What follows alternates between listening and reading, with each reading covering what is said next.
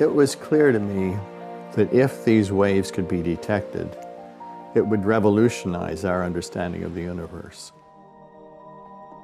I was pretty sure that the first thing we would see would be precisely what we did see.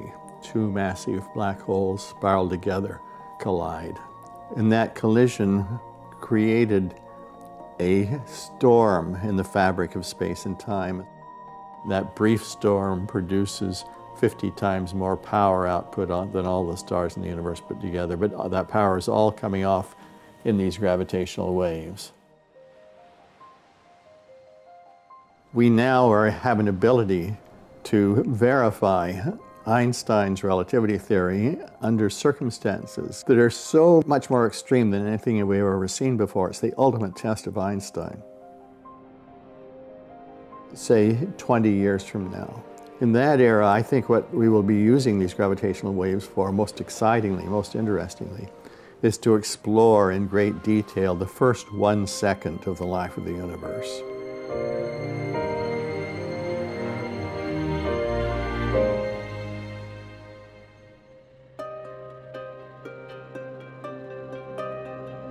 Phase one minus phase two. Now, let's look what that is. Gravitational waves are so hard to detect, but they also have a very remarkable property. They go through everything. They don't get stopped by anything. They don't get scattered. Well, electromagnetic waves get scattered, and you don't ever see really the whole thing exactly the way it is. You certainly can't look into something. The observations we were making were made with two detectors only. And all you could tell is that where's the source? It's somewhere in the southern sky. And the way you can determine where it's coming from is by timing. When does the radiation get to a specific detector? So whatever signal went, it went with close to the velocity of light from Louisiana up to Hanford.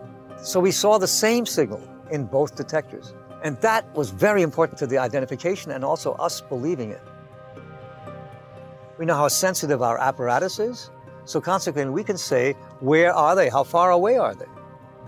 And they turn out to be something like 1.2 or 1.3 billion light years away. So it's a very long time ago.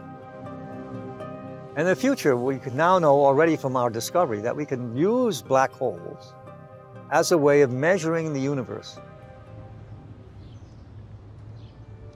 I'm speaking on behalf of my brother uh, Ronald. He has dementia, uh, which has been recognized. He is aware of this illness, although I think even now doesn't accept it. Ron Drever is a very intuitive scientist.